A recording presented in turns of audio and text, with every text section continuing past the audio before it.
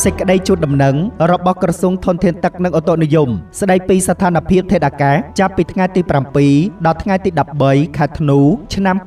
2022ក្នុងសប្តាហ៍ខាងមុខនេះប្រទេសកម្ពុជានឹងទទួលឥទ្ធិពលពីទ្រនុងសម្ពាធខ្ពស់និងខ្យល់មូសុងអេសានក្នុងកម្រិតមធ្យមស្ថានភាពបែបនេះនឹងធ្វើឲ្យ1តំបន់ទំនាបកណ្ដាលសីតុណ្ហភាពអបបរមាមានពី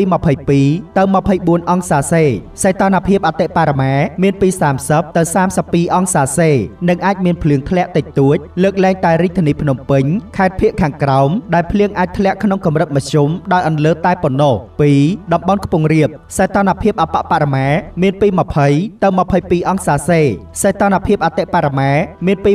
28ទៅ30អង្សាសេនិងអាចមានភ្លៀងធ្លាក់តិចតួចតែប៉ុណ្ណោះ3តំបន់មាត់សមុទ្រសីតុណ្ហភាពអបបរមាមានពី23ទៅ25អង្សាសេសីតុណ្ហភាពអតិបរមាមានពី30ទៅ32អង្សាសេនិងអាចមានភ្លៀងធ្លាក់តិចតួចតែប៉ុណ្ណោះអាស្រ័យដោយបានជម្រាបជូនខាងលើសូមសាធារណជនជ្រាបជាព័ត៌មានការផ្សាយរបស់ក្រសួងធនធានទឹកនិងអូតូនិយមថ្ងៃទី6ខែធ្នូឆ្នាំ